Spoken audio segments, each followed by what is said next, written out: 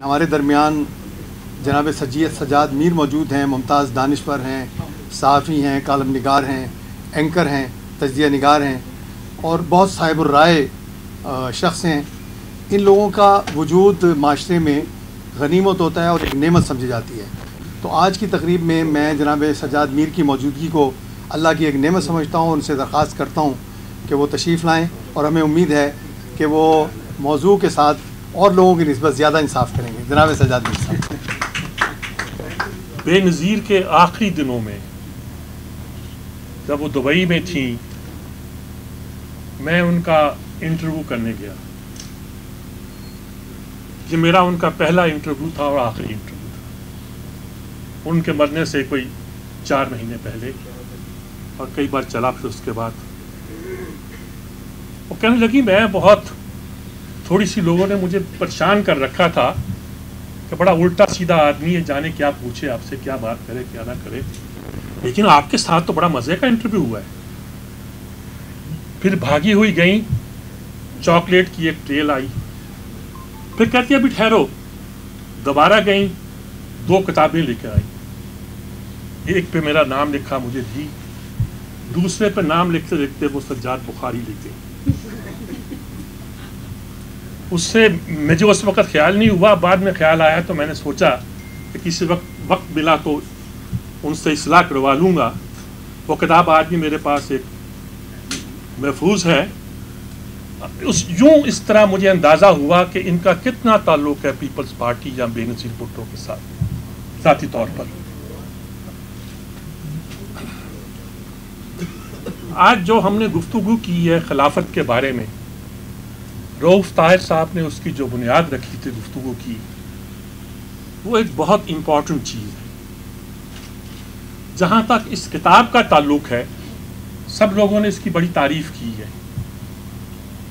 यकीन कीजिए, पहले तो मुझे हैरानी हुई कि खिलाफत पर कोई इतनी सी किताब लिख सकता है जिसमें सब कुछ आ जाए।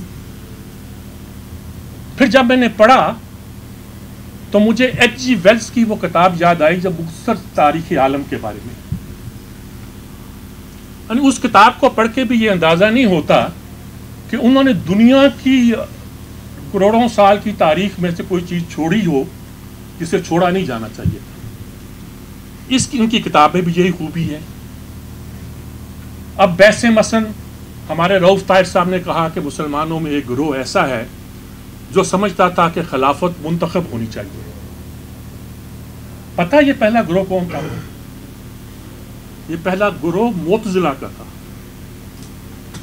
और हम कहते रहे कि मोतजिला अनार्किस्ट थे।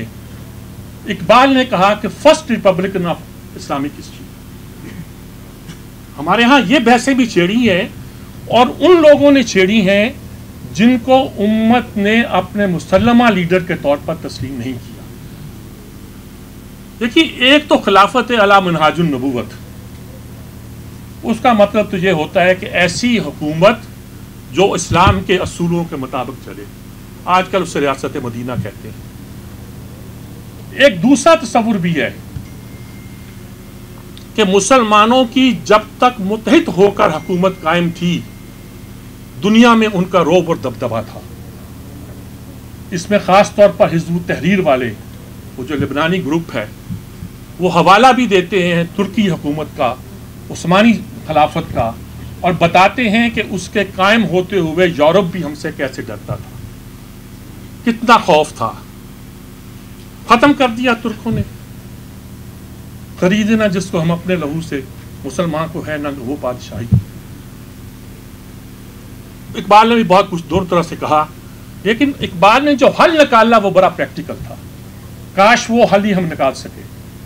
उन्होंने कहा कि फ़िलहाल अगर ऐसा हो जाए कि हमारी कौमी रियासतें, अगरचे बहुत से लोग कौमी रियासत, नेशनल स्टेट के तस्वुर के भी खिलाफ हैं, मुझे, मैं भी कई बार सवाल उठाता हूँ।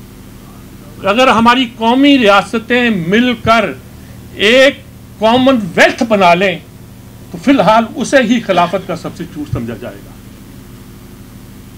ये बात इस लिहाज से की गई कि खिलाफत को हमारे यहाँ तो एक मजहबी, एक तरह से इंस्टीट्यूशन समझा गया। और गांधी साहब जैसे लोगों ने कहा कि ये कोई मजहबी असलाह है ही नहीं। उनका मतलब था कि हुकूमत कायम करना इस्लाम के असूलों के मुताबिक ये आप पर फ़र्ज़ नहीं है। दूसरी तरफ़ वो लोग थे जो समझते हैं कि अगर खिलाफत कायम ना होती तो दीन बाकी ना रहता। इसमें परेशानी की कोई बात नहीं है। वो एच जी वेल्स का नाम आया है। बड़ा शकील कल्ब शख्स है ख़ास तौर पर हजूर के बारे में। लेकिन कहता है कि if Muhammad was the spirit of Islam, Abu Bakr was its embodiment वो किस मानों में? कि सल्तनत कायम लोगों ने नबूवत के दावे कर दिए। लोगों ने जक़ात से इनकार कर दिया। मत स्टेट विद इन स्टेट भी बनाई और यह भी ऐलान कर दिया कि हम आपकी बात नहीं मानेंगे। वो लड़े। तो लंबी बहस है, लेकिन एक बात से इनकार नहीं है कि खिलाफत का इंस्टीट्यूशन मुसलमानों के यहाँ एक तकदस रखता रहा है। हर्ज नहीं उसमें। हम सेकुलरिज्म सेकुलरिज्म करते हैं ना जी। सेकुलरिज्म के भी कई मॉडल हैं। छह तो मैं बयान करता हूँ, जिसमें एक बरतानिया का है। बरतानिया के रियासत के मज़हब में दखल नहीं देती। बरतानिया में हर शख्स रहने वाला फ्री है, लेकिन बरतानिया की स्टेट का अपना मज़हब मौजूद है और उसका बादशाह चर्च का सरबराह हुआ करता है। यह भी एक हकीकत है। हमारे खलीफा को तकरीबन यही हकीकत हासिल थी। पूरी दुनिया में जहाँ भी हुकूमत कायम हुई थी, बड़ा अच्छा इन्होंने, उंदरस की हुकूमत का बड़ा अच्छा तस्करा किया। मिस्र की हुकूमत का बड़ा अच्छा तस्करा किया है। हम उसे बनु फातमा की हुकूमत कहकर इसमाइलियों के नाम लगाकर सब कुछ भूल जाते हैं। उन्द्रस को हम वैसे भूल जाते हैं कि मुसलमानों ने वहाँ मार खाई और निकल आए।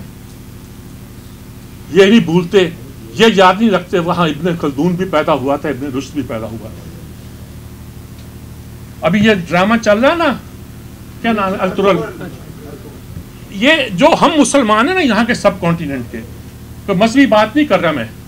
हमारा सारा कल्चर, हमारी सारी फिका, हमारा सारा तसवुफ तुर्की और ख्वारजम शाही सल्तनत का जो पूरा हिस्सा है, वहाँ से हम तक पहुँचा है, ना अरब से पहुँचा है, ना आज़म से पहुँचा हमारा खाना वो, पुलाव से लेकर कोरमा और हर चीज़ वो, हमारी जबान का लफ्ज़ वहाँ से निकला।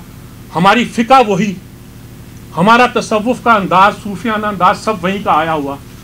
हम तो वैसे ही मुसलमान हैं, जैसे तुर्की के मुसलमान थे। कैसे कैसे? कबायली लोग आपस में तारीख को पकड़ना मुश्किल काम है। कबायलियों का अपना कल्चर, उनकी अपनी बहादरी, उनकी दीन से मोहब्बत, उनकी अपनी पूरी ज़िंदगी, और फिर किस तरह मुसलमान सल्तनत बनती है और खिलाफत में बदलती है। तुर्की वाले भी उस वक्त तक खलीफा नहीं कहलाए, जब तक मिस्र की खिलाफत जो थी खत्म नहीं हो गई तो एक कंटिन्यूटी मुसलमानों के यहाँ जो पाई जाती है, जिसने दीन का तकदस भी उसे अता किया था, ये हमारे लिए आज ही बड़ी इंपॉर्टेंट है। ये ठीक कहा आपने, जो आपने ज़िक्र किया। हमारे बड़े तो लड़ते रहे, कोई खुदा में काबा बन के कोई कुछ बन के कोई कुछ बन के ये हम बाद में सोचते हैं कि सल्तनत खिलाफत उस्मानिया को तोड़ने में अरबों ने क्या किरदार अदा किया। बहरहाल, बात लंबी हो जाएगी। एक बहुत उम्दा किताब है। बहुत मुख्तर अंदाज में बहुत कुछ इसमें आ गया है। और मैंने कुछ कुछ कुछ जगह बारीक बीनी से, जानबूझकर इस ख्याल से कि कुछ इनके खिलाफ निकाल सकूँ। इसको देखा है। मगर क्या करूँ ये तो बहुत उम्दा किताब है।